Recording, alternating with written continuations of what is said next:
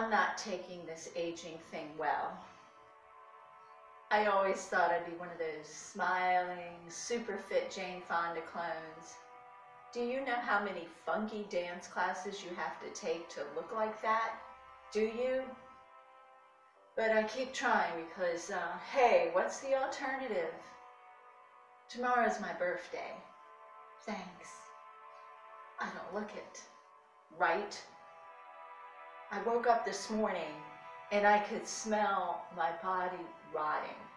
I really, I smelled it. No, I'm not, I'm not sick or anything, but I smelled this sweet smell, dank, stuck in my throat. I always thought that someday, someday, that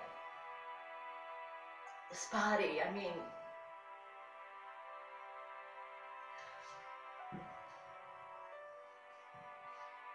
I'm decomposing.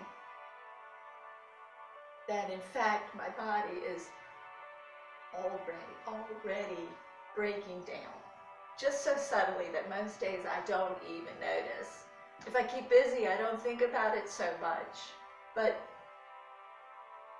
I lost interest in being in this body. I just don't want to experience this. No, thank you. Sometimes sometimes it's okay, like after aerobics or eating chocolate, but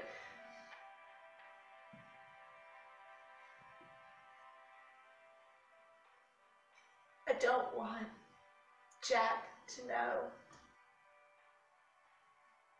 I can't tell him. How do you, how do you tell them? I can't tell. So keep at it, buying new lipstick, taking Tae Bo. How do you tell someone, hey, have you noticed anything lately that I'm disintegrating? That you're making love to a corpse?